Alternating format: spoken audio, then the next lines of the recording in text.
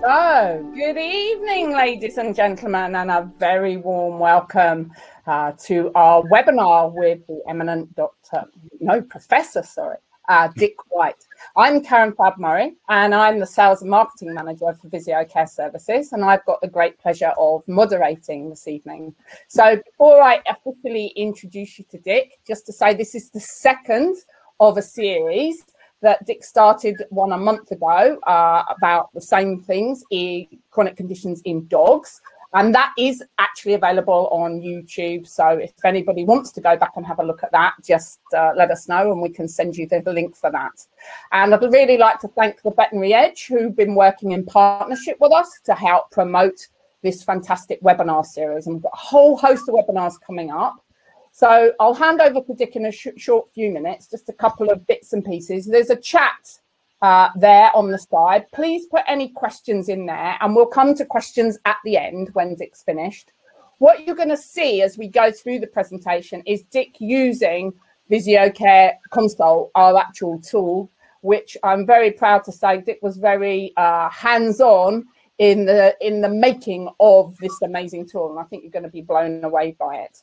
And then at the end, we'll take questions and a couple of other sort of little bits and pieces of admin. So without further ado, please welcome Dr. Professor White. Uh, he's the founder of Dick White Referrals, as I think most of you will know. And, and I believe if it's not the biggest, it's one of the biggest in Europe. Is that right, Dick? Biggest, biggest now, yeah. Biggest now, fantastic. He, and everything, Karen. Pardon me? Size isn't everything. Well, that's possibly true, Dick, but I better not say that on my there, eh? um, so yeah, so he graduated from the Royal Veterinary College, and then he joined the Cambridge Veterinary School, which is just down the road from actually from, from where I'm based. And he was the clinical oncologist. He's taken a residency in surgery. He's become a senior lecturer in small animal surgery. And I think he was at Cambridge for over 20 years, if I've got my facts right. Is that right, Dick? Okay. Yes fabulous. And uh, he was appointed visiting professor at the University of Tennessee. That sounds like a great place to go for a holiday. so he founded the Dick White Referral Center, as we said, in 2013, and he's published hundreds of peer-reviewed journals. He lectures lectures regularly, both nationally and internationally. He was just telling me he was doing a lecture for our colleagues in France in French yesterday. So I think it's a bit of light relief for him to talk to us tonight in English. So without further ado, I'm going to hand you over to Dick. You're in for a fabulous evening. I absolutely know that. So hold on to your seats. Let's get this show on the road, Dick. Lovely. Thank you very much, Karen. Let's uh, just share the screen. So we just make sure we can all see that. And indeed. Super. Can't see you, Karen. I don't know where you are. I should be down in your bottom corner near the VisioCare logo. You should see me. Can you mm. see me hmm. now? Can't see me. Uh, anyway, if uh, if we can all see that, that's great. We can. We okay, can. good. Right. Uh, welcome along. Cheers. Um, thank you very much, Karen, and also thank you, VisioCare, for organising uh, the second of these talks this evening. It's a great pleasure to be able to reach out to you through these webinars. So in the discussion last month, we talked about management of chronic ear disease. Number one was in the dog, because uh, at this time of year, we were concerned, uh, we're obviously concerned about the increasing number of dogs that we see with ear problems. Tonight, we're going to talk about the cat and uh, as you'll see, the cat's completely different, and ear disease in the cat isn't really related to uh, seasonal incidence. Uh, so, what will we be talking about? We're going to be talking about the anatomy of the cat's ear, which is really quite interesting. And that has quite a lot of bearing for the pathophysiology of the ear diseases that we see in the cat. We're also going to be talking about some surgeries, and we'll talk about ventral bulla osteotomy, which is a really important procedure in the cat. And we'll also talk about total ear canal ablation, which is, we do do it in the cat, but it's much less important and much less significant than ventral bulla osteotomy. So hopefully by the end of uh, this evening's discussion, you'll understand uh, all there is to know about the cat's ear anatomy, why they get the diseases that they do, and you'll feel confident to tackle some of the surgeries. So I'm sure you're aware, and we're always being told that cats are different. And nowhere, I think, is that more true when it comes to dealing with diseases of the ear. And cats are different in terms of their anatomy, which we're going to look at in a moment, in terms of the pathophysiology of the diseases they get, and in terms of the surgeries that we do and the outcomes. So it's uh, it's almost like dealing with a completely different topic when we come to look at chronic diseases in the cat. What we discussed last month and what we learned last month about the dog's ear frankly, doesn't apply at all to the cat. So let's talk a little bit about the anatomy of the cat's ear, which, as we're going to see, is really quite different. And there are differences, first of all, in the external ear. And the cat has much more developed auricular muscles than the dog, or indeed uh, in, in the human. And this means they're able to rotate the pinna through 180 degrees from directly forward to directly to the rear. And this is all to do with sound collection. So the pinna, the uh, mobility of the pinna aids their ability to hear things and to pinpoint, particularly to pinpoint sound. So they're rather like uh, rather large radar dishes or radio telescopes. Um, the main difference, however, that will concern us tonight really is in the middle ear. And the tympanic chambers of the cat are really quite different to the dog for some very good physiological reasons. Now, last last month when we talked about the dog, we talked about the middle ear, and we identified these uh, three chambers, uh, sorry, three parts of the chambers, the epitympanic, which is this bit up here with the ossicles, the mesotympanic chamber or the true tympanic chamber, which has got the tympanic membranes, and the hypotympanic chamber down here. But one has to say that largely these three components are pretty much all part of the same chamber. So we consider them together. And, you know, if remember, we looked uh, at the uh, ear of the dog, there is this slight separation between the ventral chamber here, the hypotympanic chamber, and the mesotympanic chamber, and a bony shelf separating, uh, showing some separation. Now, in some dogs, that bony shelf is really very well developed. Um, but generally, the whole tympanic chamber functions as a single entity. Now, this is where the big difference is with the cat. The cat indeed has the same epitympanic, mesotympanic, and hypotympanic chambers, but they are very much separated.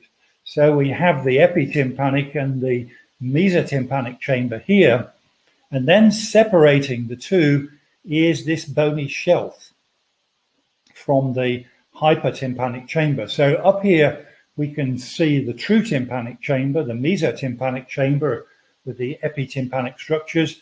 There's then a bony shelf here, and this very large ventral hypotympanic chamber.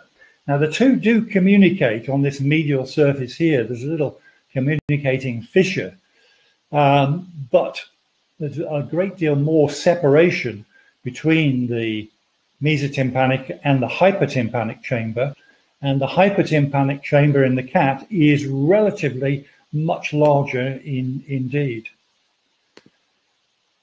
Um, so if we look at the chambers in the cat, we can see this very large ventral chamber here, the true tympanic chamber uh, with the epitympanic recess, this bony shelf with the little communicating fissure, and then this very large hypotympanic chamber here.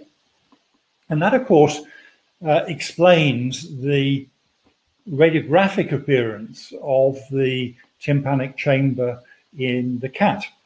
In the cat, plain radiography is very, very helpful uh, in determining middle ear changes, whereas in the dog, it's really not that helpful at all. But the most striking characteristic radiographically is that we see this double profile. Here's the ventral part of the mesotympanic chamber. Here's the ventral part of the hypotympanic chamber, which equates to these two bony structures here. So the question then is why do Felidae and all Felidae, doesn't matter whether it's your domestic short hair or lion or a jaguar or whatever, why do Felidae have this different middle ear anatomy?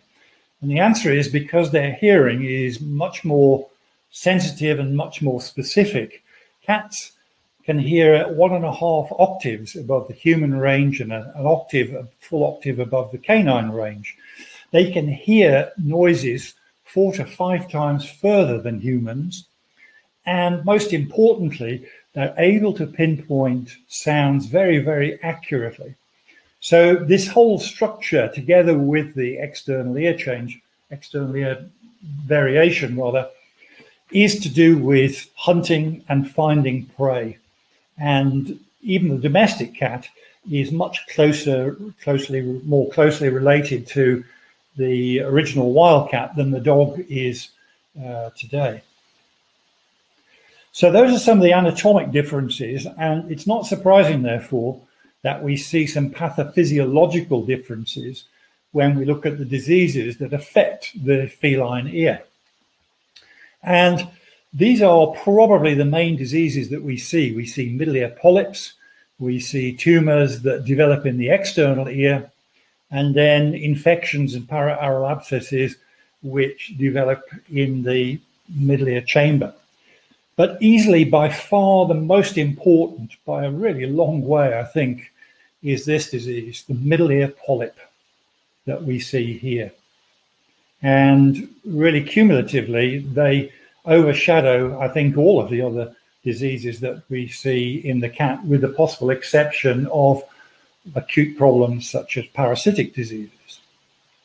So let's focus a little bit on what middle ear inflammatory polyps or MEIPs are.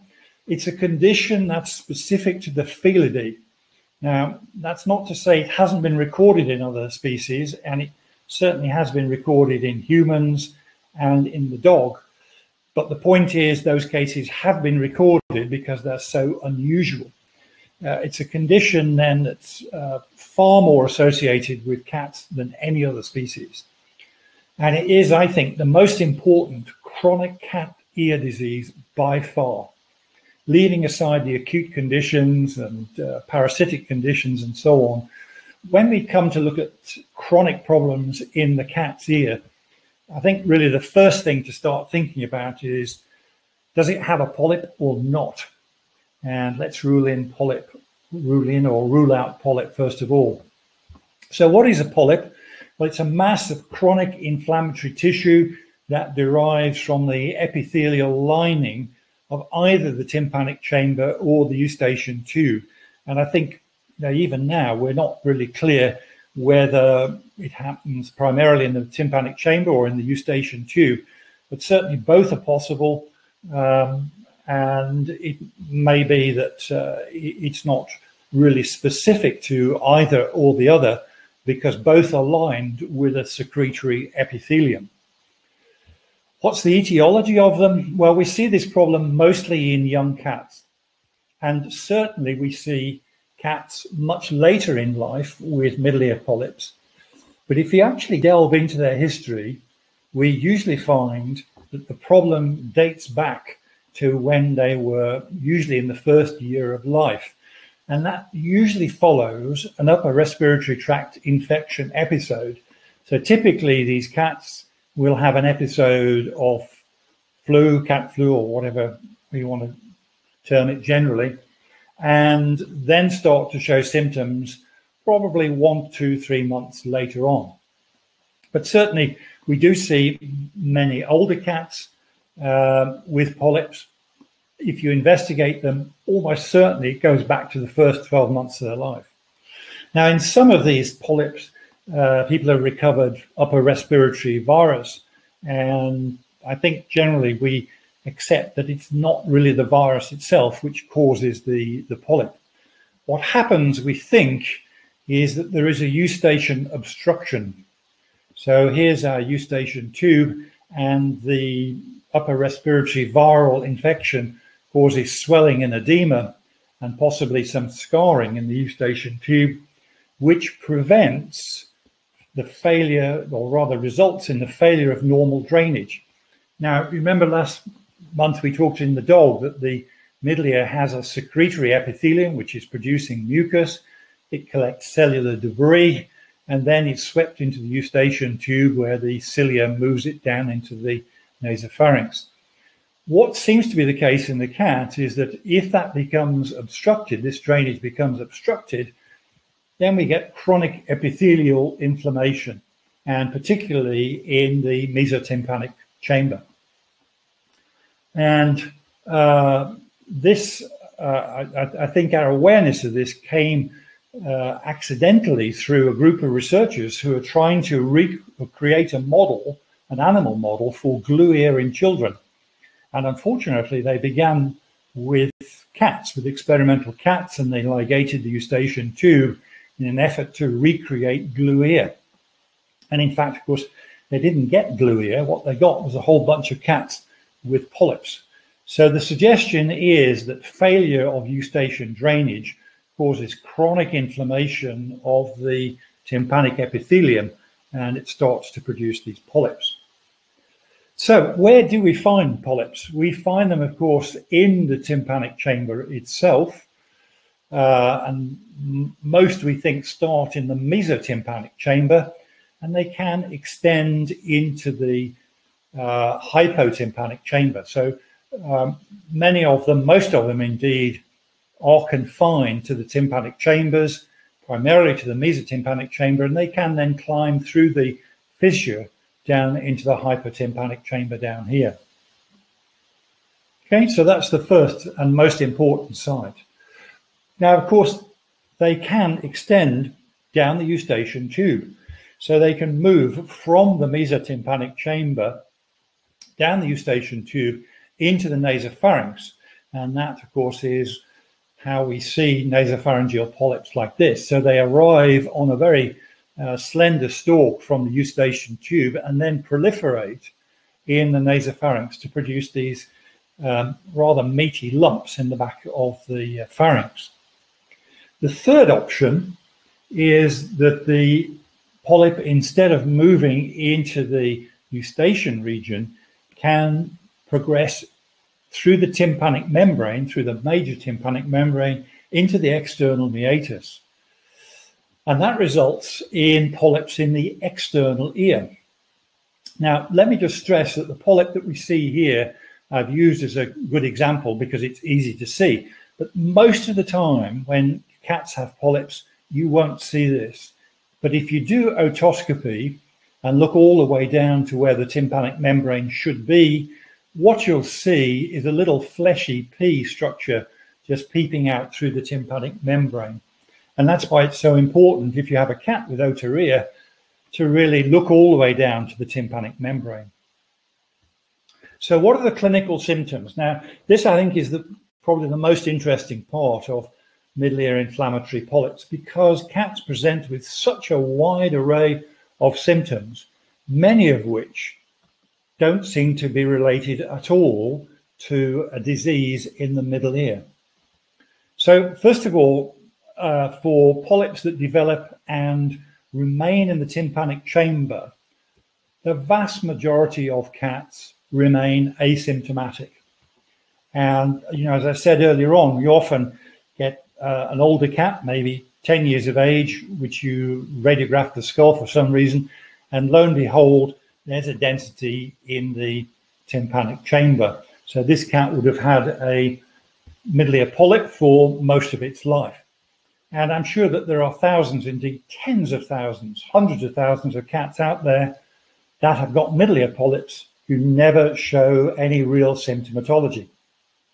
Now, for those polyps that remain in the tympanic chamber and don't go down the eustachian tube or through the tympanic membrane, they can give rise to significant intratympanic pressure. And that produces a vestibular syndrome because of the pressure on the inner ear. So we see cats that look like this. And these this symptomatology can be really quite long standing. This cat had had a head tilt vestibular signs for 18 months. This cat, I think I'm right in saying, presented to us with a five year history of vestibular syndrome. The prognosis for them, incidentally, is excellent, really very good if you fix the problem. But I think the message is that if you see a cat with a head tilt, I think your primary diagnosis should be a middle ear polyp until you disprove that and find something else. And in the clinic here, we have an arrangement with the neurology group that any cat with a head tilt goes to the soft tissue surgeons, the head and neck surgeons, before it goes to the neurologist, because 95% of the time it's a middle ear polyp. Now, what about these polyps that develop in the nasopharynx behind the soft palate? What they lead to, and they can Uh, become really quite large, they cause post-nasal obstruction. And so the symptoms we see, first of all, is stertor. So these are cats that mouth breathe and they make a noise. I hope I can do it, which is they don't nasal breathe at all. There's no air movement through the nasal sinuses. So the first sign is they have stertor. The second is usually the drainage from the nasal sinuses becomes secondarily infected. So they get what's usually a bilateral mucopurulent discharge like this. Um, and then on top of that, because this mass is physically so large, they find it difficult to eat.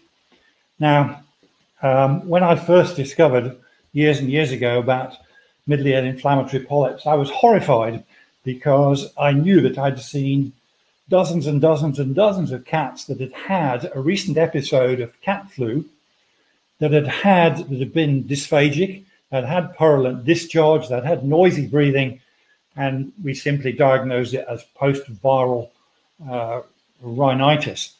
Uh, post-viral rhinitis, I don't think even exists in the cat. If you see a cat after respiratory viral infection with these symptoms, it has a polyp. Now, the other interesting presentation is the mass in the external ear. And again, let me stress that you're unlikely to see this bit, the actual mass. What you're very likely to see is the otorrhea, the messy discharge. And this is usually unilateral. So again, if you see a young cat that has got a unilateral otorrhea, then do please have a look at the uh, tympanic membrane and see if you can find evidence of a, of a polyp down there. So here's the important point, I think, in terms of symptomatology. The next time that you see a young cat, particularly after an episode of flu, with any or some of the following signs, which is stertor or dysphagia or nasopharyngeal mass or nasal discharge, vestibular syndrome, external meatal mass, otorrhea, if you see any of those symptoms either individually or as a combination, then please think about polyp because 99% of the time you'll be right. Polyps are very common. How do we confirm the diagnosis? Well, for the external meatal uh, masses, again, you're not likely to see this, but do an otoscopy and you'll see this like pea-like granulation, uh, sorry, chronic granulation tissue in the position of the tympanic membrane. And that's fairly straightforward. For the cats that have got nasopharyngeal polyps, this is a bit trickier, and making this examination in the conscious cat is pretty tricky. Um, what you need to do is to get a spatula or your biro, and you'll get one opportunity to do this as the cat opens its mouth, is just to poke the spatula into the soft palate there. Cats won't tolerate that a second time, so do make sure you get it right What you will normally feel is the soft palate deform into the nasopharynx. If it doesn't deform, there's a mass behind there. Now, imaging is really very, very helpful. And as we mentioned earlier on, plain radiography is very, very sensitive indeed in the cat. Certainly not in the dog. And we don't really rely on uh, plain radiography in the dog to investigate middle ear disease. So what we're looking at here is a cat with a normal ear with the radiolucency in the hypertympanic chamber. And here we can see soft tissue density. Could be fluid, could be granulation tissue. So a simple radiograph like that will tell you yes or no. The other changes you may see radiographically or in chronic cases, you may see bony thickening and irregularity like that. And the other thing you should be on the lookout for is a soft tissue mass in the nasopharynx there, which tells us that there's a nasopharyngeal mass. But radiography is really very straightforward, very, very useful, and uh, uh, very reliable in the cat, not in the dog, of course. Now, uh, we have increasing access to sectional imaging, and particularly with MR, we can see this soft tissue mass there. But the question I think has to be asked, you know, a, a radiograph is going to be con considerably less expensive than an MRI study. What's the additional information that you're going to get? Because, you know, all that tells us initially is that there's a polyp there, and we already knew that from the plain radiography. Well, the answer is this that uh, potentially it highlights any inner ear or brain changes. So, particularly if you have a cat with neurological signs, then an MR is useful. Now, if we look at this soft tissue mass here, we can see that there are changes in the brain here. And this cat had a head tilt, and unsurprisingly, we see changes in the brain there. So there are some benefits, I think, to doing MR, but it's perfectly possible to go ahead and treat without that. Now, in terms of treatment, broadly, we've got two options, although fundamentally they come back down to the same thing. We're trying to remove the polyp from the middle ear. and in theory, we have two options. One is traction, the other is ventral bulla osteotomy. Now, traction we can do if we've got a mass in the external ear, and here's a cat where we've removed the polyp just simply by traction. You'll often get a little bit of bleeding, but that's easy to stop. So that's pretty straightforward. But do remember that what you've removed is the polyp in the external ear. You haven't touched the polyp material in the middle ear. And the same is true for the nasopharyngeal polyps. If you take hold of these with forceps and traction and twist them, you'll be able to snap off the eustachian connection here. You get a little bit of bleeding again, but there we go. So it, it's it's very reassuring from the immediate effect on the cat because the cat can now breathe and it can eat and it doesn't have nasal discharge. But don't forget that you've left polyp material in the middle ear. Um, for the nasopharyngeal polyps, if you're going to remove them, um, don't get tempted to make an incision into the soft palate here. It's really not necessary. Cat's soft palate is pretty flexible. And so if you take a soft palate or a Senn retractor like that and really give the caudal, the trailing edge of the soft palate a good heave, then you'll see be able to get access to the nasopharyngeal polyp, or it may even be bilateral in some cases. Now, some years ago, we were interested in looking at the long-term outcome for traction. And so we treated patients that had had traction with prednisolone for a fairly significant dose for 21 days. And then we looked at the recurrence rate uh, at one year. And what we discovered that was for cats with nasopharyngeal polyps, only around about 10% of them represented with clinical signs after uh, over a period of 12 months. On the other hand, cats with external ear polyps, at least half of them came back with clinical signs.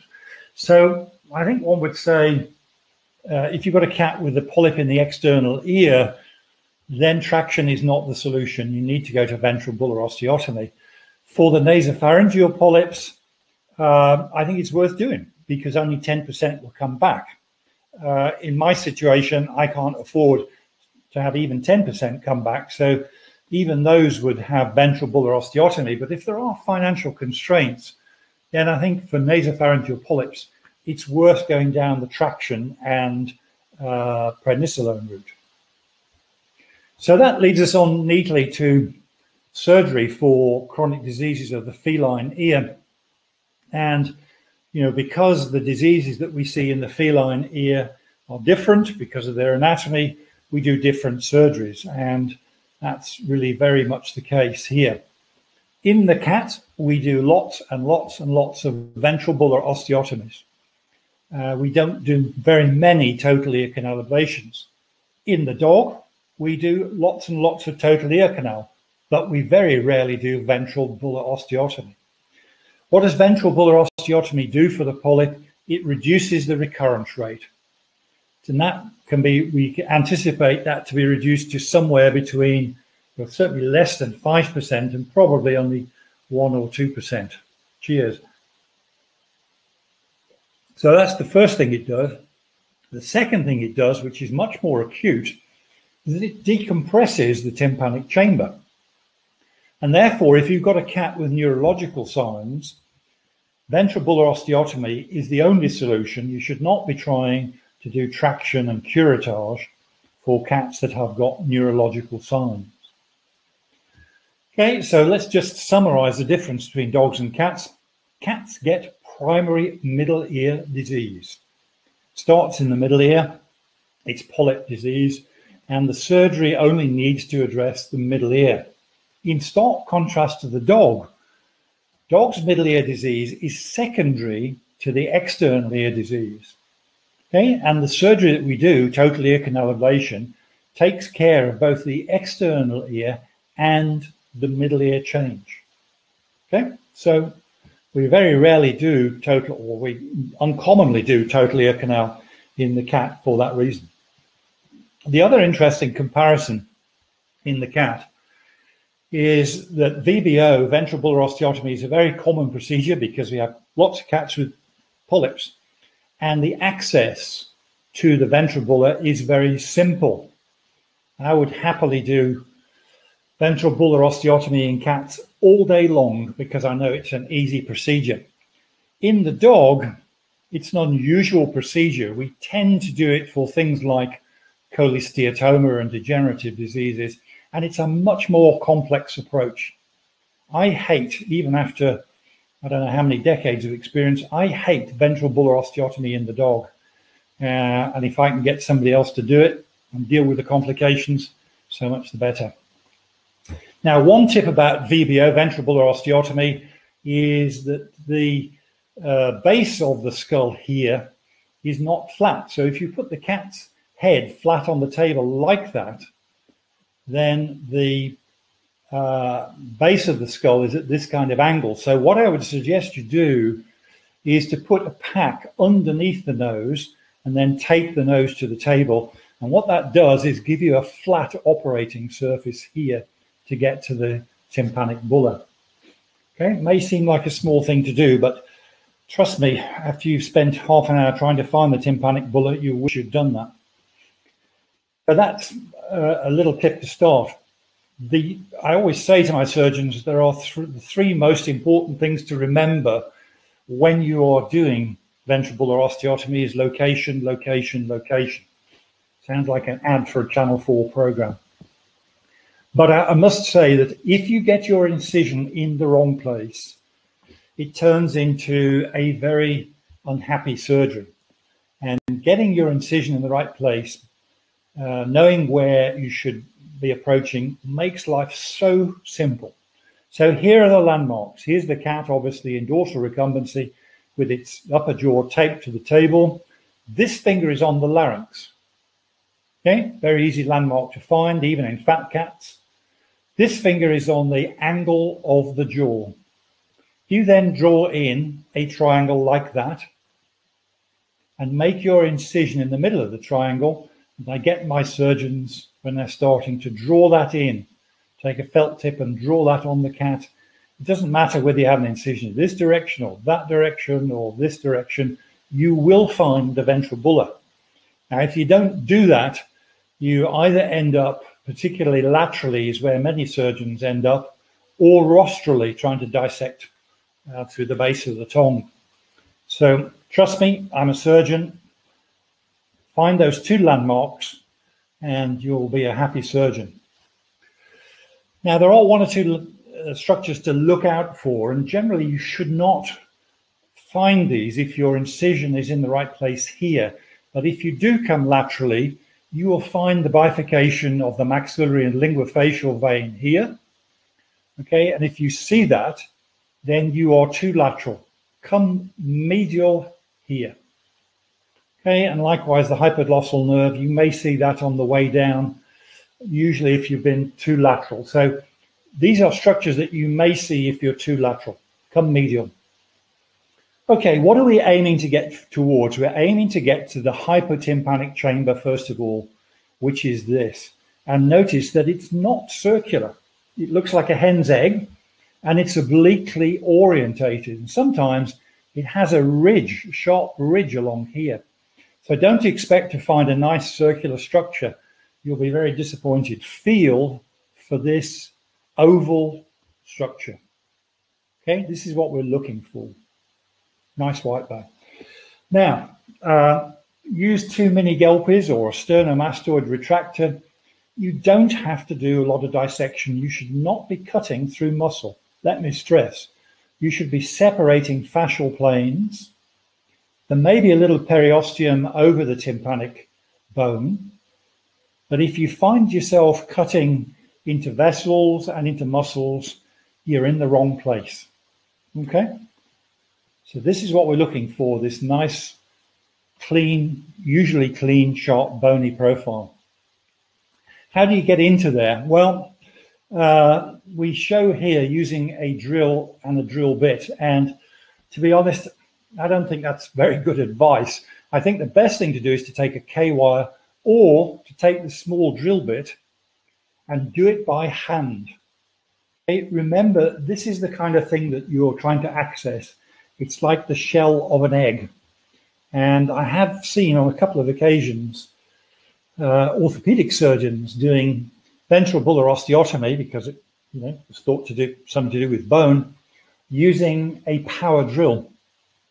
And I've seen two cases of cats with their skulls transfixed to the foam of the operating table because this is a very, very fragile structure. And if you put any pressure on it at all, it will go straight through the bone, straight through the rest of the skull into the foam padding on the operating table. Be careful because sometimes if the bone looks like this, that will fragment like a piece of dried cheese. It's very, very fragile. It just disintegrates in front of you. So do be very, very careful with this bone. Uh, once you've made an opening, you can use your rongeurs or uh, your neuro rongeurs to uh, remove the bone and try to visualize this eggshell and you're removing bits of the eggshell. People ask how much of that eggshell can you remove? The answer is the whole lot if you want to. It, it will improve your exposure. There's no there's no downside to removing lots of that bone. In quite a few cases, you will aspirate mucus. And people, I think, misinterpret this and get very excited about infections and try to culture it and all that kind of nonsense. This is mucus. This is middle ear mucus. And as we mentioned last month, the epithelial lining of the tympanic cavity secretes mucus, which traps cellular debris and is swept away down the eustachian tube. If you obstruct the eustachian tube, the mucus accumulates in the tympanic chamber. That it's as simple as that. It's a mechanical obstruction. Does not mean infection. Does not mean that you have to ply these cats with all kinds of antibiotics post-operatively. That's all it means. Okay, now we got into this ventral chamber, the hypotympanic chamber, but actually the polyp will be in here in the mesotympanic chamber, and we need to get through this bony shelf. And this is a little bit more tricky because we need to go from here to there. This bit's comparatively easy. We can remove all of this bone. But getting through this bony shelf needs a bit of contemplation. Again, you can do it with a K-wire or a drill held in your hand. I think a K-wire is best. Now, here's the, let me just do that again because obviously this is the uh, anatomy upside down. The cat's upside down. Here's the hypotympanic chamber. Here are the inner ear structures. There's the external ear. Now, the best advice, best possible advice I can give you is to stay as lateral as possible when you come through this bony shelf, which again is like an eggshell. So come there. Okay.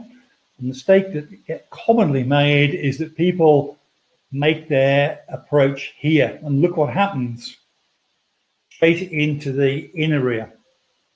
Okay, and that's something very much to be avoided. So we get problems and regret if we do that. So stay as lateral as you possibly can, and that will give you access. That will allow you then to detach the polyp. You'll see the polyp, you'll be able to detach it. Sometimes it looks like this. More often, sorry, it looks like this. You get little fragments out. Uh, use a little um, disc curettage, uh, vertical inter, uh, intervertebral disc cu curette to get these fragments out. Try not to be too aggressive because you're certainly going to uh, stir up the autonomic chain. And if you're really unlucky, you may stir up the inner ear. So uh, try to visualize what you're doing. Do a little bit of irrigation and aspiration so that you can see what you can see. Now, some of these cats, as we mentioned earlier, will have a mass in the external meatus. So they're going to have a mass here. What do we, can we do something about that during the ventral bulla osteotomy? Absolutely. We take our little curette and staying as laterally as we can, we pass that curette through where the tympanic membrane used to be and won't be, and curette in this region here. And then we apply some suction through the external ear chamber. And that allows us to remove the, the polyp material. Okay, so don't forget that because there's nothing worse than doing a ventral bulla osteotomy. Cat wakes up and it's still got a lumping great polyp in its ear, something that owners tend to notice. Now, what about the complications of ventral bulla osteotomy? And I think these have been very much overemphasized. We talked last month about some of the complications of uh, total ear canal in the dog, which have been overemphasized. Certainly, you should be aware of the complications and understand their significance. Horner's syndrome, I would say almost all cats will have this preoperatively. And certainly, if you haven't done ventral bulla osteotomy before, you will expect the first 10 cats to all have Horner's syndrome. Because what you've done is disturb the autonomic chain in the tympanic chamber as you did the curettage and remove the polyp. So it, it's a given. What's the prognosis? Most of them get better. Okay, most of them get better within three to four weeks. So if the cat wakes up looking like this, don't panic. Don't call VDS or your whoever your insurers are. What I would always do when I do a ventral bulla osteotomy to the uh, to for a cat is to say to the owners as part of the preoperative information, when the cat comes back to you, its eye will look a bit funny. That will resolve. Okay, now, what about these cats with vestibular syndrome? And first of all, the chronic preoperative cases. This cat was 18 months with a head tilt. The other cat we saw was four or five years. The answer is they will get better. The prognosis for them is fantastically good. Now, it may take, you know, the, the cat with who'd had symptoms for five years took around about five months to resolve, but it did get better.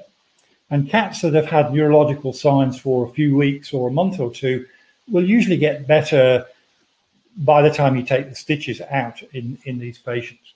So the prognosis is great, and I would always encourage you if you've got a cat with a vestibular syndrome that you think is a polyp, do the surgery, it will get better. Now, what about patients that wake up with this kind of problem? Okay, they didn't have it preoperatively, but they get nystagmus and head tilt. That means that you have disturbed the inner ear during your curettage, and these often do not resolve. So the prognosis is different. If you stir up the inner ear during the surgery, it's rather more traumatic than the chronic pressure of having the polyp in the middle ear. So stay away from the rostromedial part of the mesotympanic chamber. Now, quite an interesting thing when we do total ear canal in the dog, we always talk with owners about whether the dog will be able to hear or not. And very largely, we've ignored this in cats. Um, I think we're so pleased that we've been able to alleviate their neurological symptoms or their nasal discharge that we don't think very much about whether the cat can hear. So the answer to the question, will my cat regain normal hearing after VBO surgery? The answer is, I'm afraid not. Uh, there's a study out of the States a year or two ago which looked at the brainstem conducted, uh, uh, brainstem evoked potentials for the air conducted hearing. And logically, you'd think if you've taken a lump out of the middle ear, there's air in there, it should be able to hear, but apparently not. However, cats will still hear through their bone conducted hearing. So it's unlikely you're going to have a cat that shows any change to what it was preoperatively. Okay, so let's move on now and quickly deal with the other surgery that we do, which is total ear canal ablation. And once again, the indications for total ear canal in the cat are completely different to the dog. We do it mainly for tumors of the ear, occasionally for abscess. This concept of end stage ear, which we talked about in the dog, we rarely see in the cat. Occasionally, we do uh, total ear in cases of some recalcitrant polyps, not many, but occasionally. So the most common indication are tumors of the external ear. These are ceruminous gland tumors, and they may be adenomas, or they may be apparently high grade, high grade adenocarcinomas, even with metastatic disease. The good news is, irrespective of the histology, they have an excellent prognosis. Irrespective of whether high grade or whether they got lymph node metastasis, they have an excellent prognosis and they will live for years after the surgery if we do a good surgery. Uh, abscesses, sinuses like this, we sometimes see after cat bites, cats that have uh, fought and bitten through the uh, ear canal, we get these paraaural abscesses. The end stage ear, which is so important in the dog, is a rarity in the cat. How many cats have you seen with this kind of, of change there? So if we look at overall, at least half of these will be we'll be doing for ceruminous gland tumors some for recalcitrant polyps, some for what I put in inverted commas end stage, uh, in other words, chronic uh, degenerative changes, aural hematomas, and, and things like that, where we're doing pinectomy as well. Okay, so the technique is fundamentally similar in the cat to the dog. We make an incision, include all the pathological tissue. However, there is a very big but.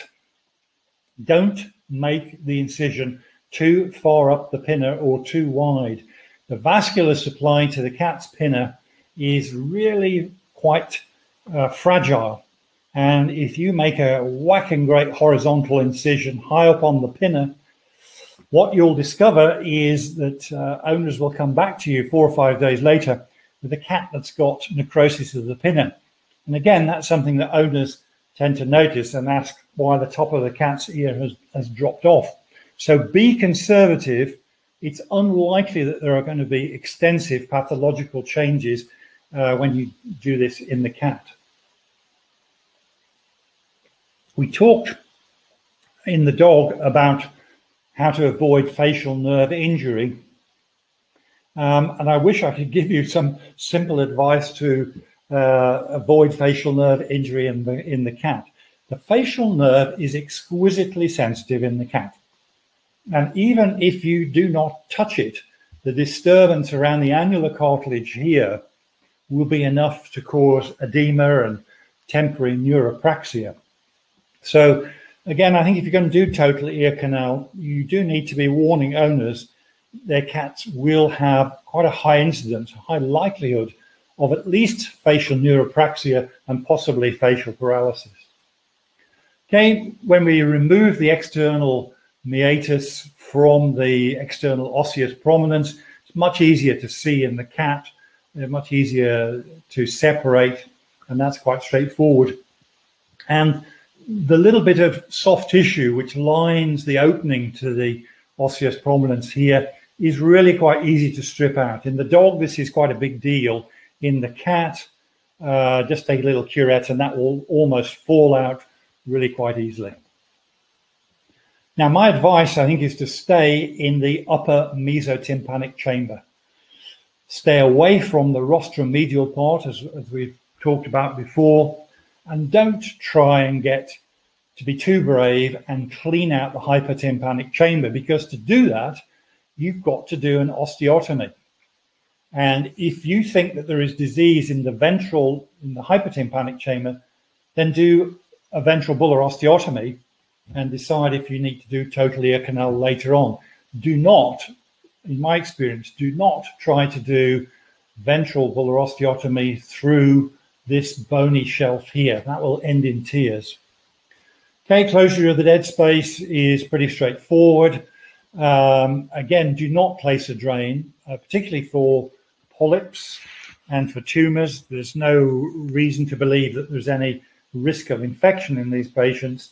And my strong view is that trying to place a drain will create more problems than it solves. Now, what about the complications? Well, we see Horner's syndrome because we'll be disturbing the mesotympanic chamber. We see facial nerve paralysis. This is a rather hilarious drawing I found on the web. I haven't seen many cats that actually look like that. And we see vestibular syndrome very, very occasionally.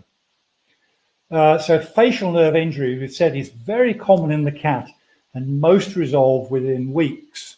Some don't. If you've really lacerated the facial nerve, cat will have facial paralysis. It's not the end of the world, but it does have some significance for the cat. Uh, many years ago, um, one of my colleagues looked at the kind of incidents that we were getting with our total ear canal ablations, and at least 50% had some kind of either neuropraxia or paralysis. Uh, and that was particularly true for the tumor patients where you have to do a bigger dissection. Uh, they stood a much greater chance of getting paralysis. The good news is three quarters of them were resolved in three months, and even more were resolved at the end of 12 months. So don't be too despondent and offer to give the clients their money back after you've done the surgery if the cat's got facial paralysis. Horner's syndrome Again, because you're disturbing the tympanic chamber, uh, quite a significant number, four out of 10 will get it. Uh, where you've got polyp patients and we're doing a little curettage, then the incidence is much higher. But again, look at that, most resolve within uh, three months. Okay, so that's been a really pretty quick romp through what happens to cats' ears. I think really very important to polyps I'm sure you can all think about cats that you've seen in the last week or two, which on reflection probably have got polyps, and uh, I would go back and uh, look at them. Thank you very much. I'll give you a virtual round of applause. that was absolutely amazing. Good. Thank you. If there are any questions, you. I'll. Uh, yeah, I've got a few here that have come up on the oh, screen, good. and I've got a couple sent in to me as well. So Lindsay Hughes is asking, are any sites of the middle ear wall predisposed to the polyp stalk developing, or is it random? Um, I, I, wished I knew the answer to that. I think the, the, the, fact is that the whole of the tympanic chamber, the mesotympanic chamber, and particularly the upper part of the eustachian tube, has the kind of epithelium which will respond like that. So, you know, if, if you're looking to uh, get a tip in terms of where the polyp will be attached. I don't know. I, it varies enormously, and some undoubtedly do start at the top of the eustachian tube. Some will be right in the middle of the tympanic chamber. But you know, good question. I wished I wished I knew the answer to that. okay. Uh, Nikki has asked the question: Are any breeds predisposed to the MEIP? I don't think so. And you know, I have to say I've seen them across all of the uh, all of the species.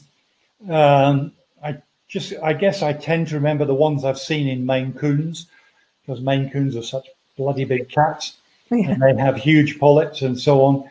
Um, the Oriental ones, you know, you do see them, but I'm not sure that they're quite as prone. So I, I think you should uh, suspect polyp in any kind of breed of cat. Okay. There's another question coming from Marla, if I've said that right. MEIP, those with brain MRI changes, increased surgical morbidity risk question, persistence and signs question, recurrence question. So you got three in one there. Yeah, good, good question. Um, the uh, MR that we showed with that uh, cat that got brain changes had had uh, neurological signs for four or five months. And we just did a routine ventral bulla osteotomy and the cat signs resolved within a couple of weeks. So it kind of beg, begs the question, you know, why do you see such significant changes on the MR in these cats? You know, it looks as though it's much more than just pressure. Uh, but you know, I think the prognosis is universally good for them. You know, wh- whatever the severity of their neurological signs, even if there are brain changes, I would just do the VBO first of all and see where you get to. And, you know, if they, you know, I think the vast majority will resolve. If they don't, go back and do uh, another MRI and refer it to your neuro neuro colleague. Okay, that's brilliant. Thank you. A couple of questions. Uh, here we go. Another one. Is nystagmus in cats a polyp until proved otherwise? I think if you've got a young cat with head tilt or nystagmus, that's where I would start.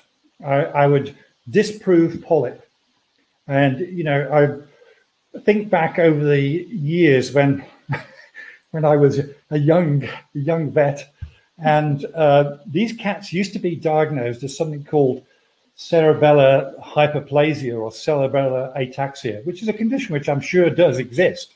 However, uh, looking back, I think 90% of the cats that we put to sleep, of the kittens that we put to sleep, and with this diagnosis of a cerebellar ataxia were due to polyp.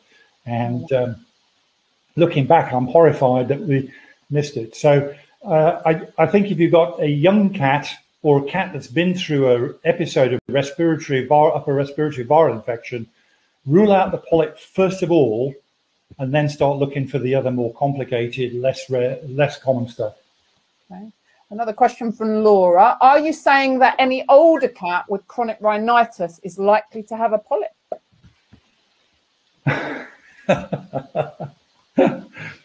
I think if you got a, a cat with bilateral nasal discharge, polyp would be the number one thing to rule out.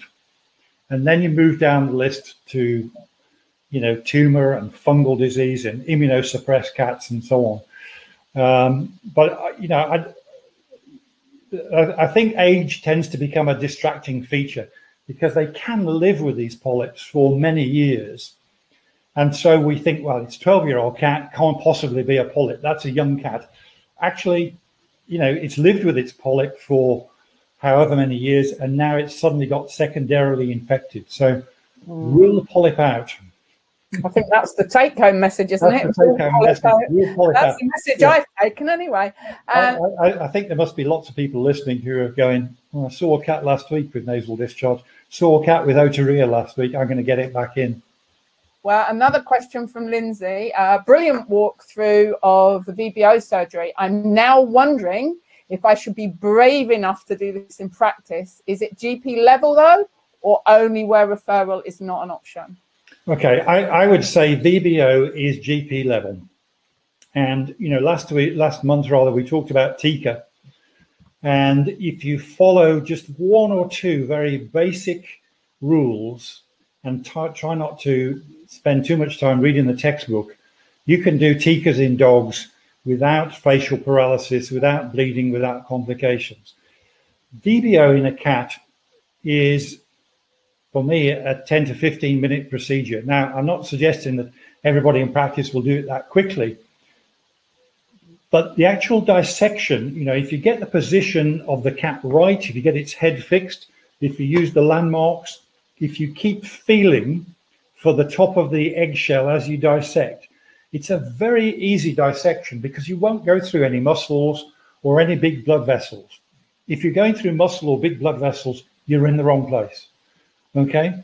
So, uh, yeah, I, I mean, get a cadaver and, and do it, and you'll be amazed how simple it is to get to the, the ventral bulla.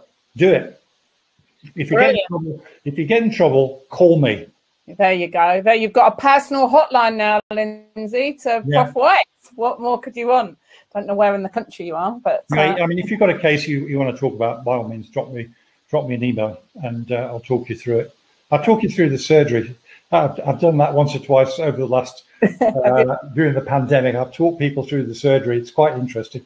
Oh wow! Oh bless you. That's very kind. I'm, I'm acutely aware of the time. Uh, I just have one more question. I had a couple that came in, but I thought what was quite an interesting question is, what is your st- suggested per- post-operative care in the cat after surgery? Okay, I, I mean I think it's not a major procedure for the cat, but they do need some analgesia, and we would use opiate for these patients. So they would stay in the hospital with opiate uh, for 24 hours, particularly so that we can assess them neurologically at the end of that time. Antibiotic, I would use perioperative antibiotics. I would not use postoperative antibiotics. Very occasionally, you get a polyp that is secondarily infected and you get pus, but that's very unusual. And, you know, as I say, many people mistake this mucus for infection. Mm. Perioperative antibiotics is all you need opiate, and then, you know, in terms of analgesia, monitor them in terms of what you think they need over the next two or three days. But it's not a huge painful surgery for them. Okay, that's that's fantastic. Well, uh, thank you all very much for your questions. The great news, yeah. you can even if you couldn't watch it all, because some of you came in a bit later, and we're appreciative of you coming. Uh, it's going to be available. You'll be um, able this will be uploaded and you'll be able to we'll send you an email and you'll be able to download it in a few hours douglas says excellent really interesting talk thank you i've had lots of great thank you very much so. I think everybody's had uh, a very interesting evening i promised you an interesting evening having heard uh, professor white a month ago so uh, we're going to persuade him to come back and do some more talks for us, I think. But um, yeah, phenomenal.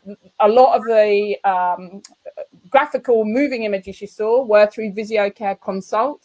And uh, we have a little special offer for you. So uh, that's in the offers tab there. But please download that. And if you book a demo with us, really quick, 45 minutes, and we can show you how it's so brilliant for your practice and we can give you a bit of a baker's dozen. We're calling it the veterinary dozen. So find out more by having a look at that. But we'll pop you an email and uh, just written nice graphics, prof. So uh, I think you, you know, yeah, you. don't you? thank, you, thank you for the nice comments. Good. And uh, Craig, thanks, Dick. Enjoy the rest of your evening. Well, I Good. think we should uh, let Prof go away, yes. finish his wine or water or whatever he's drinking there tonight. I no, think last time it, it is it's wine, is it? Okay, what are you drinking tonight, Dick? You have to educate this, us again. This is again a, a German Sauvignon Blanc, Ooh, which, I, which, I, can very much recommend. I, I, was very much against Brexit because it makes it so much harder to get German wines. So I think, um, the price is up for you as well, Dick. the price has doubled. Price has doubled. Yeah, I think what we'll do is we'll have, um, we'll have Dick giving us a, a wine tasting one night. Uh, he seems quite uh, he seems quite up on his wines. I'd be up yeah. for that anyway. I'll sign up. me too. Me too. So uh, thank you all so okay. much. It's been a nice fabulous evening, and yeah. uh, thank you again. It, has been wonderful, and uh, we'll be in touch soon, Dick. Thank you so Good. much, everybody. Bye-bye. Have a wonderful Bye. evening, and uh, go and enjoy the rest of your evening. And thank you very much for joining us. We'll see you again. Oh, yes, quickly. Our next seminar is next Wednesday night, and it's with Brian Falconer on quite a different topic. It's about very wellbeing good. in practice. So I think that will be really interesting. Yeah. So, uh, so yeah, perfect. We'll see you all hopefully next week. Sign up. Have a Bye. great evening. Bye, Bye everybody.